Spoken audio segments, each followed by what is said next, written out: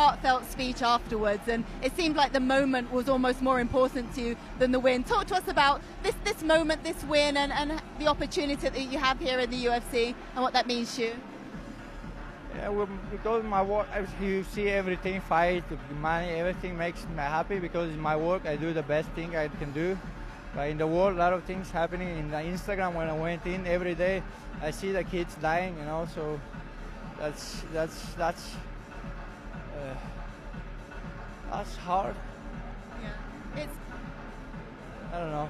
it's nice to see this emotional side of you as well, this human side of you. But but in the cage, you are an animal, and, and you went out there and did your job tonight. How tough was Kamaru Usman? I mean, he is obviously well respected former champion, but but how tough was he when you got your hands on him? You couldn't do what you maybe can do to other opponents.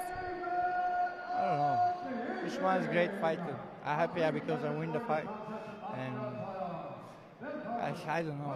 A lot of things in my heart. So sorry, guys. Okay, thank you, Khamzat. Thank you.